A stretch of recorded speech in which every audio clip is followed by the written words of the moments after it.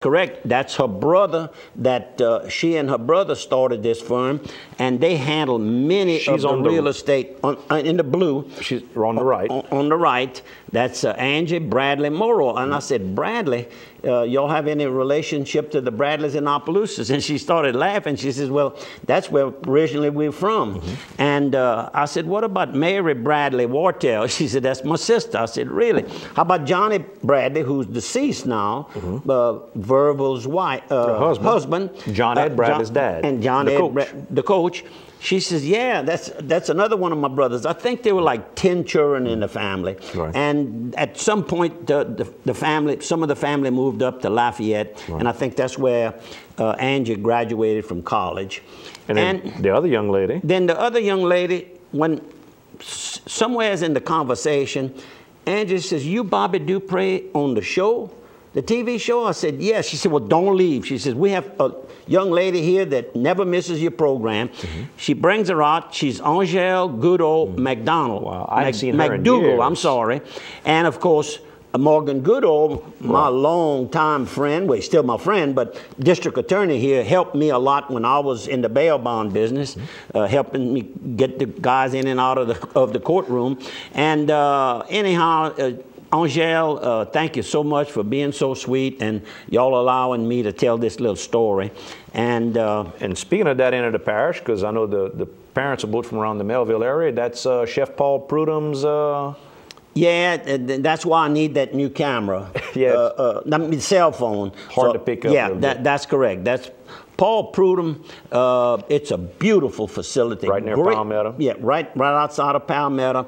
Uh, he had a fire in the old location, and I'm not sure, but it looks like the old location is being used again for a portion of it. It was all clean, clean around, all the grass cut real nice, and it looks like there might be some activities there. So uh, I- that was on my motorcycle ride. That brings me up to, to the point of uh, when we had the big fundraiser squirrel uh, Uh-huh. cook-off last Saturday. Uh, I had uh, mentioned that I was, welcome back, KSLO, by the way. I was going to be riding that motorcycle, and I cleaned it up and got on it, and I rode over to the squirrel hunt. And it's a good thing I didn't go in a car because uh, Jonathan had offered to park me, but I don't know where he would have parked me. They, it was packed. I've never seen so many people at that e- at that event or any event at Willie's, and they draw good crowds all the time. So hopefully uh, they were able to raise a, a substantial amount of money. Got on my bike It, and it was in benefit of one, one of the Sebastians, one, one of the uh, sisters that, Yeah, that's that- had some yeah, disease Jerry, uh, issues. Sebastian That she studied. Uh, I, I guess you call it a wildlife and biology type thing. So she's been involved with hunting. So it, it, it, it had a huge, beautiful crowd. Then I got on my bike and went to uh, LeBeau, Uh-huh. stopped at Stelli's, visited with Mike. I asked him how his wife Karen. Uh, you remember with the, in the Jim Doherty campaign. Very Karen active. really was active and very Helped us a bunch. Yeah, and good ideas about campaigning. She, she, she's on top of the situation. He said she's doing well. Then I went to Palmetto, and that's when I took the picture of the Of- of the plant. of the plant. Then I went up into Melville, rode around Melville, then went to Krotz Springs, then came on back. Uh, I'd been invited. Billy Jarrell was at the Sebastian uh, fundraiser at Squirrel Cook-Off and uh, invited me for barbecue. And it was, uh, in, I guess you could say, it's, uh, maybe a fundraiser. I gave uh, Bill Fontenot a little check, uh, but it was for Bill Fontenot. And uh, Ivan Ray had cooked the, the barbecue and did a great job. Uh, saw a lot of friends and uh, couldn't stay too long. I had to get on home and watch the LSU game. they did okay. They did all right. They, they top Some, of the. some people said they weren't that satisfied. You know, thir- only 31 points. I figure if we only win by 31 points from here on out, I'm, I, I mean, I'm, I'm, I'm okay with it. I might, not, I might not get jump up and down, but 31 points is not bad. No, it's not bad. and uh, the, the, the, the opposition played a very good defensive game the first quarter and most of the second quarter. Then that's when the depth of the LSU Tigers come in. Mm-hmm. They keep revolving those players. I'm gonna lean on you during the show, and then I'm gonna wear you down. That way, as the show goes on, I'll better take over more and more. You see, I'm gonna. That's what they did. That's them. what Just they lean do. They on them, wear on on them, 'em, push yeah. on them, and And then while we're talking about sports, what about our coach Yeah, Sean Payton, Saints. man, he bragged that he played college, he played pro ball, had never had to have a stitch or nothing. He, played always pro bragged ball? about it. Yeah, he played some pro ball. He was a backup quarterback. Too yeah. small, huh? No quarterback. Yeah, he was a short little guy. No no, yeah. Oh yeah. Well, Drew Brees is not a big guy either. No, six foot. That's, right. So uh, he got hit when the, the play went to the sideline. They broke broke a bone in his leg and tore up his MCL. So they had to have three hours worth of surgery this week. As a coach, man, he's like uh, um, uh, oh. Uh, Joe uh, Joe Pa Joe Paterno over at uh, at Penn State. You know, he his leg problem. That's what it comes from too. Is a player hitting him in the leg. So. How you like that? Uh, let, us Another- let, us hit another sponsor before you go too far, because you're Yeah. talking about the squirrel cook-off. How about Carrie Thibodeau, Dr. Carrie Thibodeau, who of course organizes the St. Hubert's Day uh, cook-off each year. It's 12 years, I think they've done it now. Great job, how much he gives back to the community. But if you need a surgeon, he can handle your general surgery, your vascular surgery. He's been around here over 20 years, board certified. He can do wound care from the uh, hyperbaric treatments to the skin grafting and all that type of work as well. The uh, varicose veins type work. He's done gallbladders, breast biopsy, uh, biopsies, appendectomies, colonoscopies. Whatever you need, Dr. Carrie Thibodeau can take care of you over in the Opelousas General Health System. And how about one more while I'm hitting more, sponsors? Let's go to Washington State Bank. While we're in Washington, going over there to the Squirrel Cook-Off, we can talk about Miss Sue Brignac and all the lovely people over at Washington State Bank who do all the banking you need. You're looking for home loans, looking for commercial loans. They got fresh, fresh, brand new money sitting in the vault ready for you. They got 24 by 7 uh, checking and, and savings account. If you want to do all your banking online, full access to all that, pay your bills online. You can do all that as well and look at those checks and check out the endorsements. There's no need to wait on that, that envelope to come in at the end of the month anymore because they've got all those type of services all on your computer for you, nice and convenient for you. If all you got time is at 10 o'clock at night after you knocked off of work, it's there waiting for you. Washington State Bank. I was having lunch in, in uh, Lafayette, and a young couple walked in and they started smiling, and, and it didn't take me long to recognize one of them.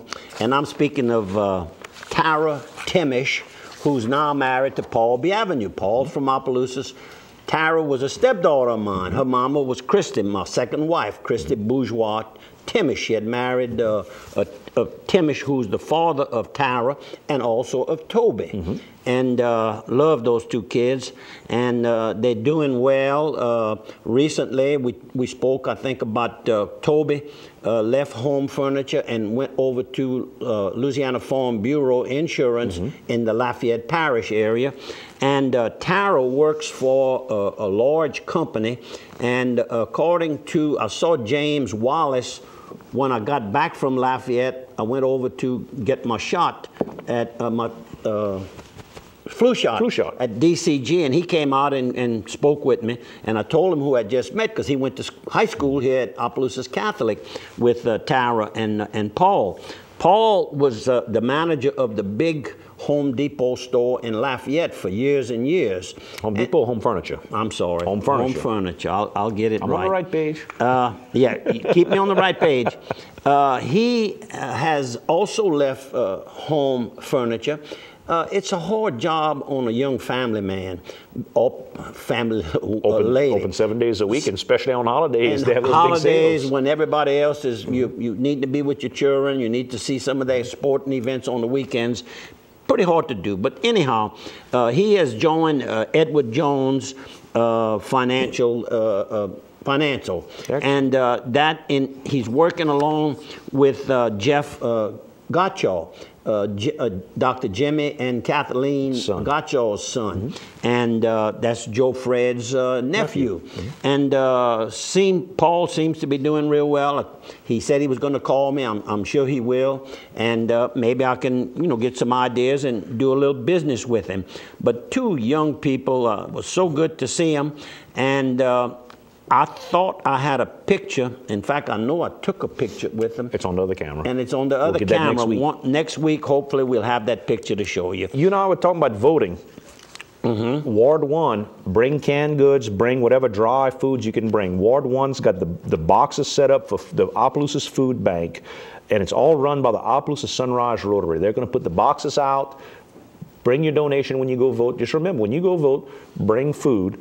And the Opelousas Sunrise Rotary, Joe Hidalgo, Keith Norman, that whole crew, they're going to go out They're going to pick up all that food. And when you vote, I think the last endorsement, the, the last uh, amendment there at the bottom is about a homestead exemption for disabled veterans. They're going to double the exemption if you're a veteran who was 100% disabled as a veteran, you know, serving your country. If you got disabled as as a veteran, they're going to double the homestead exemption to try to give those people help if you for vote that. for it. Yep, sure and, did. Uh, Link Sava, of course, sent us some of the information just to remind us about that. It's a very good thing. I voted for it as well. It's a it's a good move. There are not a lot of people within the parish that would qualify. I mean, you're talking about a handful of people, but certainly if a man gave his his capacity to have a livelihood for his country, certainly we can give back to give him a little break on his taxes. That's correct. And uh, we have a minute and a half left. Uh, uh, on the death side, we briefly mentioned uh, the death of uh, Joe Elder junior last uh, week. We didn't know any of the details of, uh, you know, the, the funeral and all. Well, the, the wake was uh, Friday afternoon, and the funeral was uh, Saturday morning. Uh, Vicki and I attended the wake on uh, Friday afternoon, visited with quite a number of the members of the family, and then uh, she brought me over to show me his plant. I had no idea that it was such a huge plant. I mean, I knew he They- processed a lot of The milling treated- and all. Yeah, the, the treatment of, of, of these uh, timbers that he treated, and uh, I mentioned to Tina on Tuesday that I had been there. She says, Bobby, he started that in 1976. Joe started that business in 1976 in a little small one room place. Mm-hmm. And she said, Well, look at what that man did. She said he was some successful. And he came by that honestly because his daddy's famous for being, as everybody always said, old man Joe Elder, he was tough, he was tight. and I always got to and I got to meet uh, uh, members of his four children and uh, uh, other his. Uh, Frankie was there, of course, and, and other members of his. Edna was there, jo- Joanna was there. Uh, his, and uh, I'll have to come back. That happened to me last. I caught, week I caught you same- at, at the war. I, I do have to. Tell, I have something to tell you about who they asked about. We're And gonna we're gonna see you folks. He'll finish the story on the other side of three.